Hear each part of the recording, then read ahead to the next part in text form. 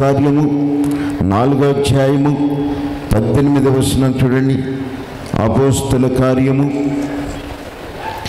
అప్పుడు వారిని పిలిపించి అప్పుడు వారిని పిలిపించి పిలిపించి మీరు యేసునామమును బట్టి మీరు యేసు నామమును బట్టి ఎంత మాత్రమును మాటలాడకూడదు. మీరు ఎంత మాత్రము కూడా మాటలాడకూడదు. మాటలాడకూడదు. బోధింపను కూడదని బోధింపకూడదు అని వారికి ఆజ్ఞాపించి వారికి ఆజ్ఞాపించాను. అందుకు పేతురును అందుకు పేతురు యోహానును యోహానును వారిని చూచి వారిని చూచి దేవుని మాట వినుట కంటే దేవుని మాటలు వినుట కంటే మీ మాట వినుట మీ మాట వినుట దేవుని దృష్టికి న్యాయమా? దేవుని దృష్టికి అది న్యాయమా? మీరే చెప్పుడి. మీరే చెప్పండి. మేము కన్న వాటిని. మేము కన్న వాటిని. విన్న వాటిని. విన్న వాటిని. చెప్పక ఉండలేమని. చెప్పక ఉండలేమని వారికి ఉత్తరం వారికి ఉత్తరం ఇచ్చారు అప్పుడు వారిని పిలిచి యేసు నామమున మీరు ప్రకటన చేయకూడదు.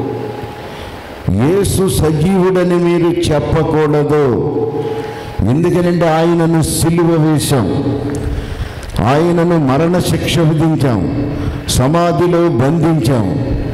కనుక సమాధిలో ఆయన ఈ లోకమంతా కూడా చూసింది కనుక సమాధిలో నుండి ఆయన లెగలేదు కనుక ఆయన గురించి ఇక మీరు ప్రకటించ పని లేనే లేదు.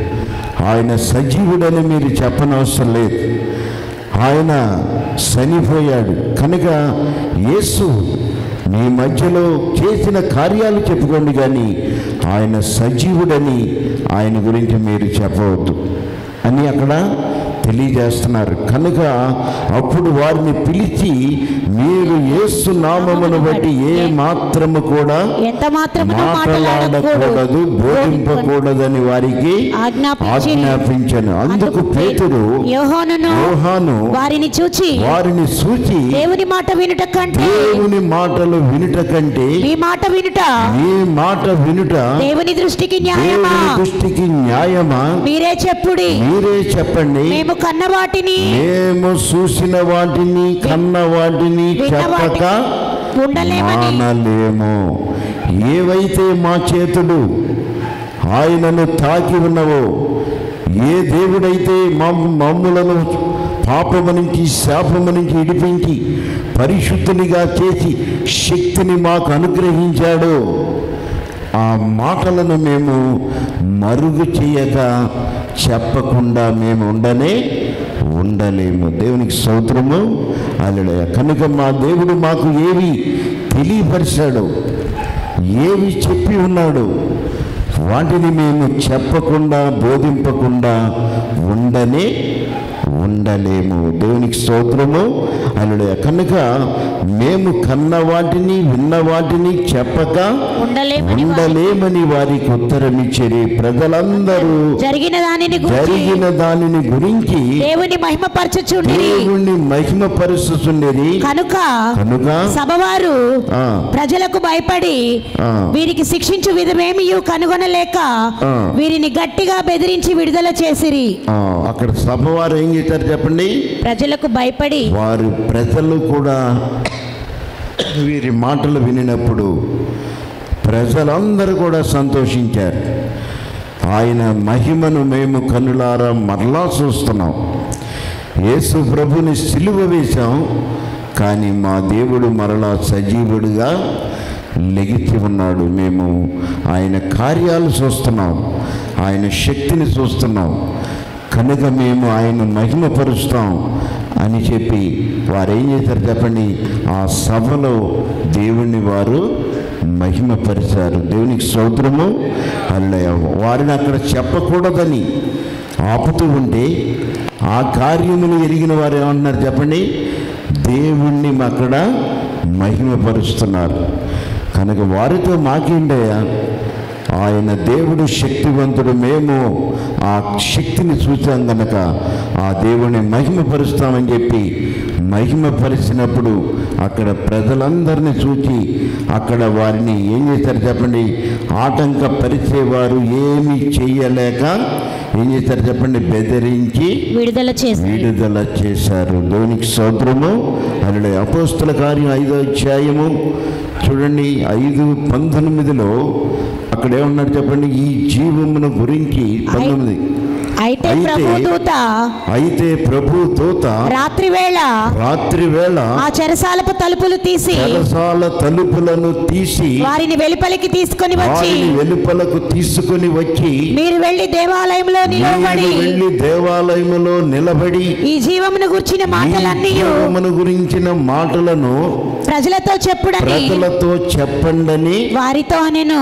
వారికి అనెను. ఆయనను అక్కడ వారిని బంధించారు. క్రీస్తు విరోధులు దేవుని యొక్క మాట చెప్పకూడదని వారిని ఆటంక పరిస్థితి ఆటంక పరచటమే కాకుండా ఏం చేశారు చెప్పండి? చెరసాలలో వారిని బంధించారు హింసించారు ఎన్నో బాధలు పెట్టారు. కానీ వారైతే దేవుని నామమును బట్టి ప్రకటన చేయటానికి దేవునికి తమ ప్రాణములు సమర్పించుకున్నారు గనక ప్రభుత్వత వచ్చి ఆ బంధకాల్లో నుంచి వారికి విడుదల చేసి మీరెళ్ళి ఏమన్నారు చెప్పండి? జీవమును గురించి. జీవమును గుర్చిన మాటలన్నీ జీవమును గురించిన మాటలన్నీ ప్రజలతో చెప్పుడని. వెళ్ళి మీరు ప్రజలతో చెప్పండి. ఈ జీవాన్ని ఆటంకపరిచేవాడు ఎవడు? లేడు. ఈ జీవమును ఆటంకపరిచేవాడు ఎవడు? లేడు. ఆయన మరణాన్ని పాపమును సమస్త మానవుని యొక్క పాప దోషములను భరించి మరణించి సజీవుడుగా లేచి ఉన్నాడు. ఆయన జీవాధిపతిగా ఉన్నాడు. కనుక మీరు వెళ్ళండి. ఆ జీవాధిపతిని మీరు ప్రకటన చేయండి. వారికి భయపడకండి అని చెప్పినప్పుడు వారు వెళ్ళి చూడండి అపోస్తుల కార్యం నాలుగో అధ్యాయము నాలుగో వాక్యాన్ని చూడండి అక్కడ వాక్యము వినిన వారిలో వాక్యము వినిన వారిలో అనేకులు నమ్మిరి. అనేకులు నమ్మేరి. వారిలో పురుషుల సంఖ్య వారిలో పురుషుల సంఖ్య ఇంచుమించు ఐదు వేలు ఆయను ఇంచుమించు ఐదు వేల మంది రక్షణ పొందారు. పొందారండి అనేక మంది వాక్యాన్ని అంగీకరించిన వారు. ఆ వాక్యము శక్తి కలదని అంగీకరించిన వారు. ఇంచుమించు ఎంతమంది చెప్పండి? ఐదు వేలు. మంది రక్షణ పొందారు ఒకే ఒక క్షణంలో. ఎంత కాలం నుంచి ఎన్ని కార్యాలు చూసినా రక్షణ పొందని వారు కూడా ఆ క్షణములో రక్షణ పొందారు. దేవుని స్తోత్రము అల్లుడు యేసు ప్రభు కాలములో అనేక ఆశ్చర్య కార్యాలు చూశారు. రక్షణ పొందల.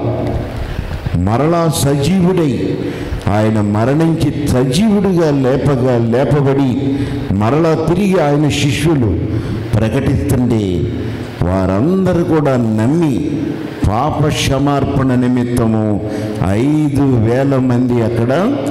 బాప్తీసం పొందారు. దేవుని స్తోత్రము. అల్లుడే చూడండి అక్కడ అపోస్తుల కార్యం రెండో అధ్యాయం ముప్పై ఏడు నుండి నలభై వరకు వారు ఈ మాట విని వారు ఈ మాటలను విని హృదయములో నొచ్చుకొని హృదయములో నొచ్చుకుని సహోదరులారా సహోదరులారా మేమేమి చేతుమని పేతురును కడమ అపోస్తులను అడుగగా. పేతురు పేతురు మీరు మారు మనసు పొంది పేతురు మీరు మారు మనస్సు పొంది పాపక్షమాపణ నిమిత్తము పాపక్షమార్పణ నిమిత్తము ప్రతివాడు ప్రతివాడు యేసుక్రీస్తు నామమున యేసుక్రీస్తు నామములో బాప్తిసము పొందుడి. బాప్తీసం పొందండి. అప్పుడు మీరు అప్పుడు మీరు పరిశుద్ధాత్మను వరము పొందుదురు. పరిశుద్ధాత్మని వరమును మీరు పొందుదురు. పొందుదురు. ఈ వాగ్దానము మీకును. వాగ్దానము మీకును. మీ పిల్లలకును. ఈ పిల్లలకును. దూరస్తులందరికీ ఈ దూరస్తులందరికీ అనగా మన ప్రభు అయిన మ- అనగా మన ప్రభు- మన దేవుడు. మన దేవుడు. తన యొద్దకు పిలిచిన వారికి అందరికీ పిలిచిన వారి అందరికీ చెందునని చెందునని వారితో చెప్పెను. వారితో చెప్పాను. ఇంకను అనేక విధములైన మాటలతో అనేక విధమైన మాటలు సాక్ష్యం ఇచ్చి సాక్ష్యము వారు తెలియచేసి మీరు మూర్ఖులకు మీరు మూర్ఖులకు ఈ తరము వారికి వేరే.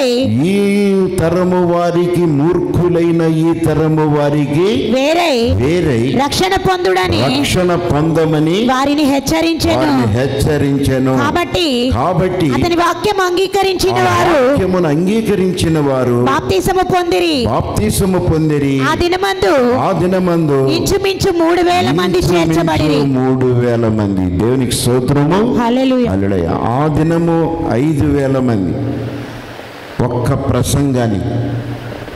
ఆ తర్వాత తిరిగి మరలా దేవుని శక్తిని పొంది ఆ తర్వాత వారి పాపముల నిమిత్తము ప్రకటన చేయగా వినిన వారందరూ కూడా పశ్చాత్తాపడి అయ్యలారా జీవాధిపతిని నిరాకరించి ఆయన చేసిన మేళ్ళను మేము గల్లారా తూకి ఆ దైవ సేవకుడు శక్తివంతమైన సేవకుడిని మేము కనులారా చూచున్నాం. అలాంటి బోధకుడిని మేము పోగొట్టుకున్నామని చెప్పి పశ్చాత్తాపడి ఏం చేశారు చెప్పండి? మారు మనసు పొంది వారు పాప క్షమార్పణ నిమిత్తము ప్రతి వాడు ఏం చేస్తారు చెప్పండి? మూడు వేల మంది బాప్తిసము పొందారు. దేవుని స్తోత్రము. హల్లెలూయ. అప్పుడు అంటున్నాడు ఆయన ఇదిగో బాప్తిస్తం పొందిన మీరందరూ కూడా ఇప్పుడు మీరు పరిశుద్ధాత్మనే శక్తిని పొందుతారు. ఆ తర్వాత మీరు ఈ లోకములో మీ దూరముగా ఉన్న బంధుమిత్రులందరికీ కూడా మీరు ఎలా ఉంటారు చెప్పండి? మీరందరికీ వారికి మీరు రక్షణగా ఉంటారు. ఉంటారు. మీరు రక్షణ పొందటమే కాకుండా మీ బంధుమిత్రులకు కూడా మీరు ఎలా ఉంటారు చెప్పండి అక్కడ? చెప్పండి. ఈ వాగ్దానము మీకును మీకును మీ పిల్లలకును మీ పిల్లలకు దూరస్తులందరికీ దూరస్తులందరికీ కూడా దీవెనగా మారుతున్నది. దూరస్తులందరికీ కూడా. నీవు రక్షణ పొందితే నీ కుటుంబానికి నీ బంధుమిత్రులకు అందరికీ కూడా దీవెన కలుగుతున్నది. దేవుని స్తోత్రము. హల్లెలూయ. అలాగే మన మధ్యలో ఒక సాక్ష్యాన్ని విన్నాం. మళ్ళా ఇప్పుడు వద్దులే చెప్తున్నాను. అలాగే మనం రక్షించబడితే మన బంధుమిత్రులకు కూడా దీవెన కలుగుతుందని దేవుని లేఖనం తెలియపరుస్తుంది. కనుకని దేవుడు అంటున్నాడు పాప క్షమార్పణ నిమిత్తము మీరు బాప్తిసం పొందండి. మూర్ఖులైన జనుల మధ్యలో నుండి వేరయ్యి రక్షణ మీరు పొందండి. పొందండి. దేవునికి స్తోత్రము. అలా మూర్ఖులతో కలిసి మీరు దుష్ట సాంగత్యము మంచి నడవడిని నడవడిని చెడగొడుతుంది. కనుక దుష్ట సాంగత్యములో నుండి వేరైతేనే కానీ మీరు దేవుని కార్యాన్ని చూడగలుగుతారు. అందుకే యెహోషు అన్నాడు ఎవరన్నాడు చెప్పండి మూడు మూడు చూడండి ఐదో అధ్యాయమది మరియు యెహోషువ మరియు యెహోషువ రేపు యెహోవా నేడు యెహోవా మీ మధ్య అద్భుత కార్యములు మీ మధ్యన గొప్ప కార్యములు చేయును కనుక చేయును కనుక మిమ్మల్ని మీరు పరిశుద్ధపరచుకొనుడని మీరు పరిశుద్ధ పరచుకొనుడని పరుచుకోనండి. దేవునికి స్తోత్రము. దేవుడు అంటున్నాడు అక్కడ తెలియపరుస్తున్నాడు దేవుడు మీ మధ్యలో గొప్ప కార్యాలు చేస్తాడు కనుక మిమ్ములను మీరు పరిశుద్ధులుగా పరిశుద్ధపరుచుకోనండి. ఎందుకంటే దేవుడు నేడు మీకు కలగ చేసే రక్షణ గొప్ప శక్తివంతమైనది. కనుక మిమ్మలను మీరు పరిశుద్ధపరచుకోనండి. మిమ్మల్ని పిలిచిన దేవుడు పరిశుద్ధుడు కనుక సమస్త ప్రవర్తనలో పరిశుద్ధులుగా ఉండినట్లుగా మిమ్మలను మీరు పరిశుద్ధ పరుచుకోనండి దేవునికి స్తోత్రము. అలా కనుక దేవుడు మన దేవుడు శక్తివంతుడు. మీకున్న ఆస్తులను అనుసరించి ప్రవర్తింపగా మిమ్మల్ని పిలిచిన దేవుడు ఎంతో పరిశుద్ధుడై ఉన్న ప్రకారము. ఉన్న ప్రకారం మీరు కూడా పరుచుకోనండి దేవునికి స్తోత్రము. అలా కనుక దేవుడు మనకు శక్తినిస్తున్నాడు. ఈరోజు పాపము నుంచి విడిపిస్తున్నాడు. నూతన స్వభావాన్ని కలగజేస్తున్నాడు. ఈరోజు మనకిచ్చిన ఈ ఆయుష్కాలం ఎంతో విలువైనది. ఆ రోత బతుకు పాప జీవితంలో మనము పడిన వేదన ఎంత భయంకరమైనదో ఒక్కసారి తలంచుకుని ప్రతివాడు కూడా ఆ రోత జీవితంలో నుంచి విడుదల కలగ చేసిన దేవుని బట్టి మనం సంతోషించి మనలను మనము క్షణ క్షణము కూడా పరిశుద్ధులుగా ఉండనట్లుగా పరిశుద్ధ పరుచుకొనండి. దేవునికి స్తోత్రము. అల్లే కనుక దేవుడు జీవము కలిగిన దేవుని వాక్యం మన మధ్యలో ప్రకటింపబడుతుంది. అనేక ఆటంకాలు ఆది నుండి కలిగిన ఇప్పుడు కూడా అనేక ఆటంకాలు కలిగిన ఆ జీవము కలిగిన వాక్యం అనేకులకు జీవమును అనుగ్రహిస్తూనే ఉన్నది. దేవునికి స్తోత్రము. కలలే కనుక మన దేవుడు శక్తివంతుడు. ఆ జీవము కలిగిన లేఖనాలు నీవు అంగీకరిస్తే తప్పకుండా నూతన కార్యముని ఎడల చేయడానికి దేవుడు సిద్ధముగా ఉన్నాడు. దేవుని వాక్యము దీవించునుగాక హల్లెలూయా. ప్రార్థన చేద్దాం. పరిశుద్ధుడైన తండ్రి కృప కలిగిన దేవ దయగలిగిన ప్రభు నీ సన్నిధానంలో మాకు ఇచ్చిన ఆయుష్కాలము ఎంతో విలువైనది శక్తివంతమైనది.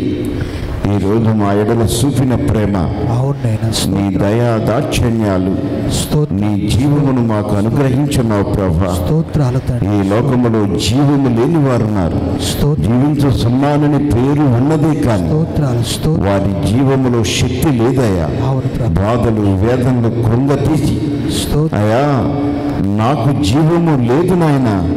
మరణమే ప్రేమ కావాలని కోరుకునే వారు కానీ అలాంటి వారికి రోజు రండి మారు మనసు పొందండి. శక్తిని నీకు అనుగ్రహిస్తానని నా జీవము నీకు తోడుగా ఉన్నదని ఆ జీవాన్ని తాకిన వారు ప్రకటించినప్పుడు అనేకులు జీవమును అంగీకరించిన వారు అందరూ కూడా అయా ఆ మహిమను కనులారా అనుభవించిన వారు నిన్ను మహిమపరిచారయ్యా.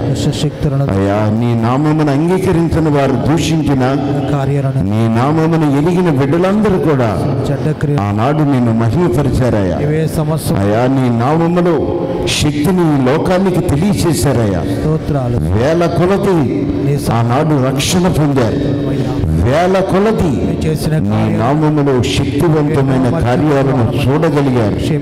అలాంటి కార్యాలు మీ ఈ రోజు మా మధ్యలో ఇంకా పరిశుద్ధుడు. జరుగుతూనే ఉన్నాయి. నీ వాక్యం ప్రకటింపబడుతూనే ఉన్నది. ఇంకా మేము జీవించి ఉన్నాం. కనుక ఈ నాలో ఆ జీవమును ఉంచి ఉన్నావు కనుక మేము అనేకులకు ఆశీర్వాదంగా ఉండటానికి. నేను అనేకులకు ఆశీర్వాదంగా ఉండటానికి. మాకు ఇచ్చిన ఈ జీవమును జీవన్ అనేకులకు ఆశీర్వాదంగా ఉండటానికి. మాలో బలహీనమైన బలహీన అయా చెడ్డ తలంపులు. చెడ్డ ఆలోచనలు దుష్ట సాంగత్యం దుష్ట తలంపులు తొలగించి జీవమును కలిగి అనేకులకు జీవాలను అనుగ్రహించే శక్తివంతుడు మీరు ఉన్నారు కనుక నీ సువార్త. ప్రకటించడానికి ఈ రాత్రి నీ నామములో శక్తిని తెలియజేయడానికి మా అందరికీ బలము శక్తిని దయచేయమని అలాగే మా సంఘ ప్రియులందరినీ కూడా కాపాడమని. అలా ఈ రోజు ఈ ప్రోగ్రాం చూస్తున్న ప్రతి కుటుంబాన్ని దీవించి ఆశీర్వదించమని ఏసయ్య పరిశుద్ధ నామములో అడిగి వేడుకొనుస్తున్నాను తండ్రి. ఆమె ఆమె తండ్రి కుమార పరిశుద్ధాత్మ. సదాకాలము యుగ యుగముల వరకు మనకును ఎల్లవేళలా తోడయుండునుగాక ఆమె ఆమె ప్రభు యేసు రక్తమే జయం సిలువ దేవునికి వందనాలు నాన్నగారికి వందనాలు అమ్మగారికి వందనాలు మీ అందరికీ నా హృదయపూర్వక నిరంతరం కాపాడుతూ మన అవసరతలు తీరుస్తూ మనకి ఎప్పుడు ఏది కావాలో అది ఇస్తూ మనల్ని నిత్యం సంతోషంగా ఉంచాలనుకునే మన దేవదేవునికి నా వందనాలు.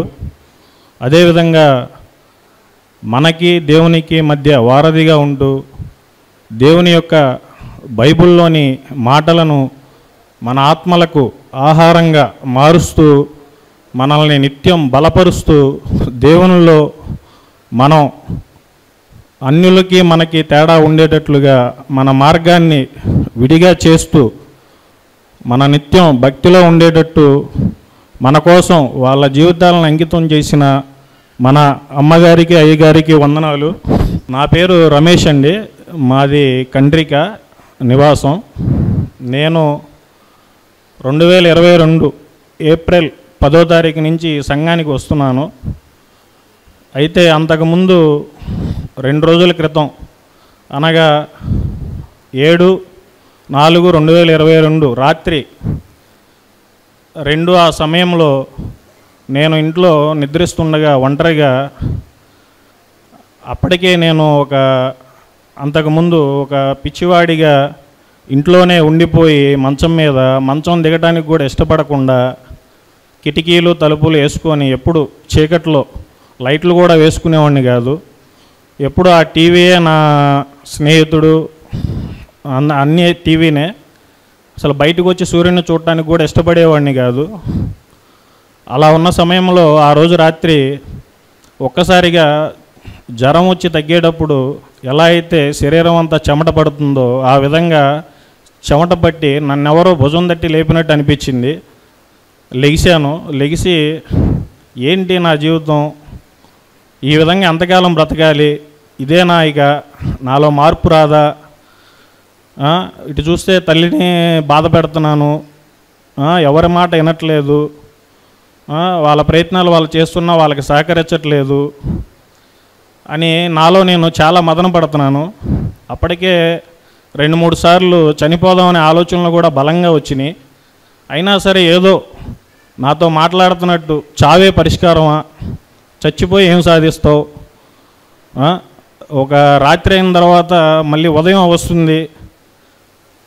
అంటే చీకటి తర్వాత వెలుతురు ఉంటుంది అని నమ్మి నాలో నేను సర్ది చెప్పుకునేవాడిని. అప్పటికే చాలా అవమానాలు.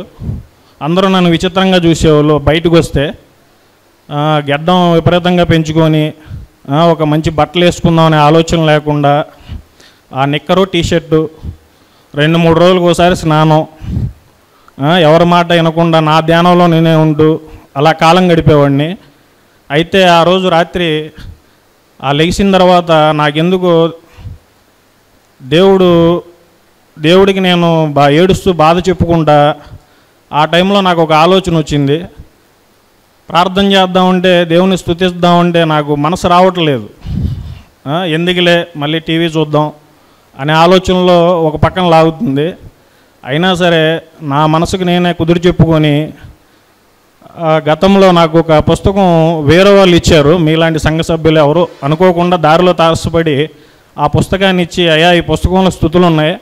అవి పొద్దున సాయంత్రం చదువుకొని స్థుతించు దేవుణ్ణి. నీకు మంచి జరిగిద్దని చెప్పారు. దాన్ని ఇంట్లో తీసుకెళ్ళి పక్కన పెట్టేశాను. అది ఎక్కడ పెట్టానో కూడా గుర్తులేదు. నా బుక్స్ ర్యాక్లో మొత్తం ఎదిగాను ఒక అరగంట. అప్పుడు ఆ పుస్తకం దొరికింది. దాన్ని తీసుకొని అప్పటికే మూడయింది. తీసుకొని స్థుతించడం మొదలుపెట్టాను. ఆ పుస్తకం అయ్యే వరకు చదువుతా దేవుణ్ణి స్థుతించాను అప్పుడు నాకు ఒక ఆలోచన ఆ పుస్తకం వెనక పక్కన సాక్ష్యాలు ఉన్నాయి అవన్నీ చదివాను. చదివిన తర్వాత ఎంతమందికి నయమైనప్పుడు నాకు కూడా ఎందుకు అవ్వదు? ఒకసారి వెళ్దాం. వెళ్ళి అక్కడ సంఘంలో వాళ్ళతో కలిసి ఇప్పుడు ఎలా దేవుణ్ణి స్థుతించానో వాళ్ళతో కూడా కూర్చొని దేవుణ్ణి ఆరాధిద్దాం అనే ఒక ఆలోచన కలిగింది. అప్పుడు దాంట్లో ఒక ఫోన్ నెంబర్ చూశాను వెనక పక్కన. ఆ తర్వాత రోజు పదకొండు గంటల ఆ ప్రాంతంలో ఫోన్ చేశాను. అయ్యగారు ఫోన్ తీశారు. బాబు ఎవరయ్యా నువ్వు? అని అడిగారు. అడిగితే నా పేరు రమేష్ అండి. అంటే ఎక్కడ మీ ఇల్లు అని అడిగారు. కంట్రీ క్యాండ్ అని చెప్పాను. ఏంటి బాబు నీకేంటి సమస్య? అని అడిగారు. అడిగితే ఇలాగ నేను చీకటి శక్తితో బాధపడుతున్నానండి. మరి ఇలాగ నాకు చాలా ఇబ్బందిగా ఉంది. నేను చాలా అవమానాలు ఎదుర్కొంటున్నాను. నాకేం అర్థం కావట్లేదు అని అంటే బాబు నువ్వు ఇలాగ రేపు ఆదివారం ఆరాధనకి రా. ఏడు ఆదివారాలు వచ్చావనుకో నీకు ఈ లోపు మార్పు తెలిసిద్ది. నువ్వు తప్పనిసరిగా రా అని చెప్పి అన్నారు. సరేనండి ఎప్పుడు ఆ ఏ టైంలో ఆరాధన మొదలైద్దంటే పది గంటలకు రా బాబు అన్నారు. సరే అలాగేనండి అని చెప్పి ఫోన్ పెట్టేశాను. ఆదివారం పది గంటలకు వచ్చానండి మా అమ్మగారిని తీసుకొని. అప్పటికే నేను ఇంట్లో నుంచి బయటికి రావాలంటే కాళ్ళు ఉనికి దడదడగా ఉండేది. కరెక్ట్గా ఓ పది ఇల్లులు అవతలకి వెళ్ళాలంటే వెళ్ళేసరికి ఒళ్ళంతా బరువు అయిపోయేది అలాగే ఇబ్బంది పడతా వచ్చానండి. ఆటో ఎక్కాను వచ్చాను. వచ్చిన తర్వాత అయ్యగారు అప్పటికి ఇక్కడ కూర్చొని ఉన్నారు. సరే అందరూ కూర్చున్నారు మన వాళ్ళు రిసీవ్ చేసుకొని కొత్తగా వచ్చారని అడిగారు. సరే అక్కడ కూర్చోండి అన్నారు. ఆరాధన అంతా అయిపోయింది. తర్వాత అయ్యగారు ఇక్కడికి వచ్చారు. వస్తే నేను వచ్చి మీరేనా ఫోన్ చేసిందని అయ్యగారు అడిగారు. అవునంటే ప్రార్థన చేశారు. చేసి బాబు నీలో చీకటి కనబడుతుంది.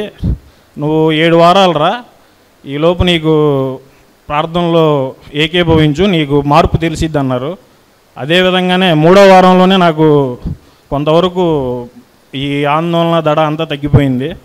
తర్వాత కాలక్రమేణా నేను అందరిలాగే బిహేవ్ చేయటం ఇంట్లో వాళ్ళతో సఖ్యతగా ఉండటం చక్కగా గెడ్డం గిడ్డం చేయించుకొని మంచి బట్టలు వేసుకొని అందరితో పాటు పనికి వెళ్ళిన వాళ్ళపైన బయటికి వెళ్ళటం.